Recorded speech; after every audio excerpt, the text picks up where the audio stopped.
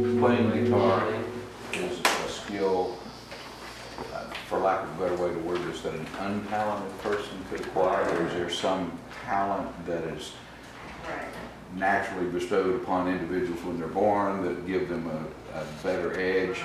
Or can just someone who, with a great deal of determination and, and appreciation of music, I mean, I- obviously, you know, you'd, you'd want to be able to hear and such as that, but, uh, do you, how important do you think, Yeah, or is, do you think there's an element that says, well, this guy plays so great because he's just talented, or this guy plays just as well, but he has no talent, but he's got a lot of acquired skill? I think some people, you know, I've got, I had friends of mine in England that were just naturally gifted. It just flowed out of them. It was sick, it was kind of sickening to me Yeah, because they. disgusting. It is. It, it is awful. But you know what I found with those people when it came easy to them, they didn't work hard and they let it go, and consequently, he's not a professional musician.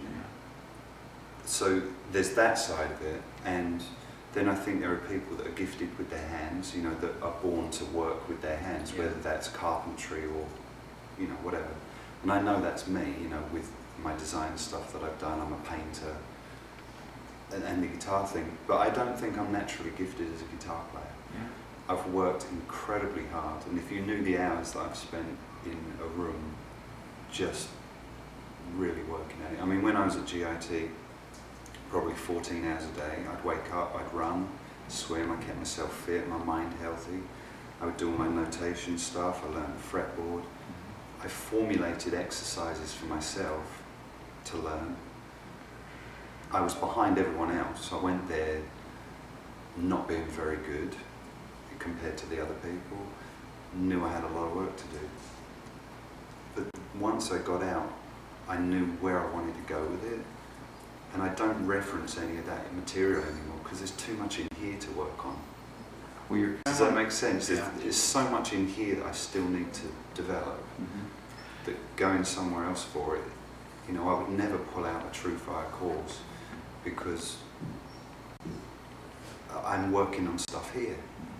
And I think when you develop your own thing, that's what you do. You find what works for you and then you go, okay, now I need to internalize it and then bring it out.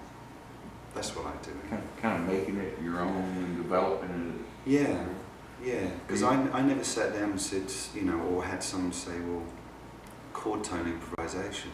We were taught arpeggios, but no one ever said to me why. it. Or, it- or it wasn't apparent to me. Yeah, when I took a high school band, and I played trumpet, and we practiced all these scales.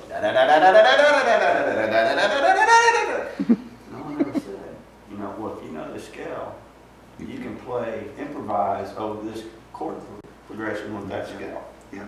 I never figured that out until I started playing guitar on my own, and I figured out, I, I think the first book I got was the Holy Guitar Bible. Yeah.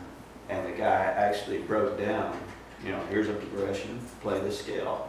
And I was like, if I'd have known that in high school, I would have been way better.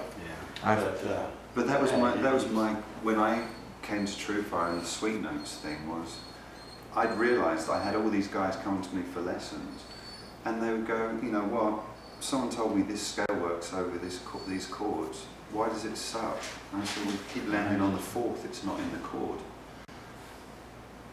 You see what I'm saying? Yeah, so you have to go to the chord tones, regardless if the scale in a blanket term fits. No one tells you, no, the key tones are, and then when the chord changes, well, so do the chord tones. right. So you have to develop more than just learning a scale. You, you do have to have an ear. That, and but also you can then really kind of hone in on it, like you know, back to the blues thing. That for me, knowing a, a minor pentatonic works, you have to make it work, right? Because if you just flat land on the minor third, it sucks against the major third. So you have to you have to imply the bend, right? So you have to do all those things. But then what are the cool tones? Well, most people would just resolve here, wouldn't they? yeah. Someone who does it all the time. right? Because it's the root note. Yeah. But what about going to the flat seven? It's really cool. I joined Root Notes Anonymous. Yeah. But the, the, you know, but it's a simple thing that when I did seminars with people, I'd have a guy go, "Well, um, why are you saying going to the major third? And I go, well, how does it sound? Well, I like it. But he could not go there. His muscle memory was locked into the, The the pentatonic. And I said, just go there once, just slide into it or do something. And I said, when you go to the next band rehearsal and you hit that note, your bandmates are going to say, what have you done different? That's cool. You've learned something, you've gone outside of. So that's what I say to people is maybe if you just add one different thing to something you already know. Actually, I've got a concept I'll throw out to you.